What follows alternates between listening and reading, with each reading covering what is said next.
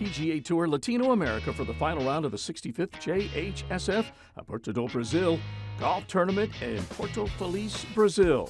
Players playing for Los Cinco trying to earn Web.com Tour cards. Alexandre Rocha of Brazil working the 16th. His second shot coming into the par 4 leaves it just below the hole. That sets up a birdie. And Rocha looking to get to 20 under par. Beautiful spot to operate from. Strokes that one perfectly. Rocha picking up a shot. 20 under, a pretty solid score over four days.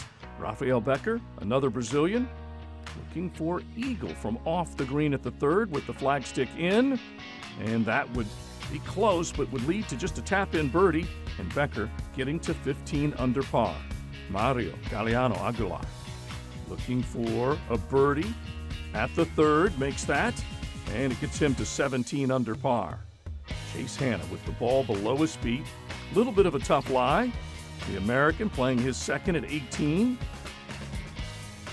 And this one comes in on the left side using the slope. Trying to work a little closer to the flag. And on the par 5 closing hole, it works to about 10 feet, leaving an eagle putt for Hanna to see if he can jump to 19 under. Back and through, left to right break, and that one curls in. Hanna making a big eagle putt at the last. Harrison Endycott flops this one up in the air at the third. Nice little play, setting up a birdie. He would tap that in, getting to 15 under par.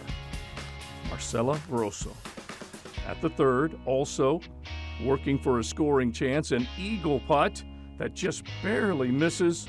Rozo with a tap in birdie to get to 14 under par. We pick him up now on the back nine. This at 16, his second.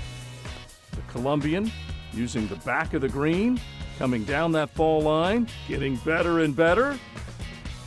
And Rozo from there would be looking at birdie. Just a short four feet to the cup. And he makes that getting to 19 under par. And then on to the 18th to try and close it out.